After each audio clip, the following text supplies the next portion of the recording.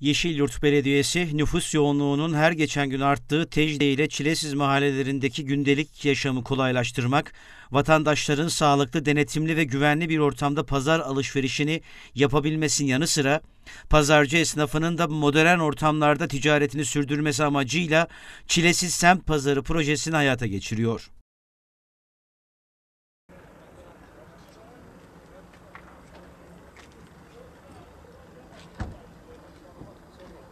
...2019 yılının bahar ayında hizmete girmesi planlanan Çilesiz Semt Pazarı için sürdürülen inşaat çalışmalarını yerinde inceleyerek yetkililerden bilgiler alan Yeşilyurt Belediye Başkanı Mehmet Çınar, Tecde ile Çilesiz mahallelerin yanı sıra çevre mahalle sakinlerinin de yararlanacağı modern bir semt pazarının hizmete gireceğini söyledi. Tecde Çilesiz e, bölgemizin sınırlarında olan ve e, burada semt pazarı olarak ayrılan alanla ilgili e, çalışmaları yerinde ekibimizle birlikte inceliyoruz.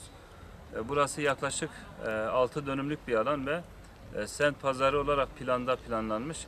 Biz de e, pazarcı esnaflarımızla birlikte bu bölgede de eksik olan pazarın e, yapılması için hızlı bir şekilde prefabrik olarak buranın e, semt pazarının e, yapılması için çalışmalarımıza başlattık.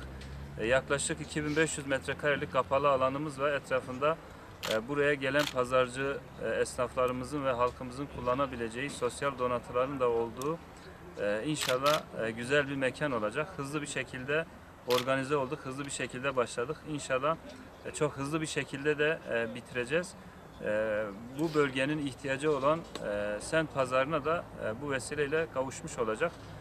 Pazarımız da yaklaşık 90 tane esnafımız e, aynı anda gelip de malzemelerini satabilip pazarını kurabileceği şekilde e, dizayn edilecek.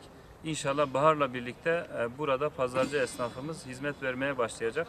Burada emeği geçen arkadaşlarımın emeklerine, mesai arkadaşlarıma çok çok teşekkür ediyorum.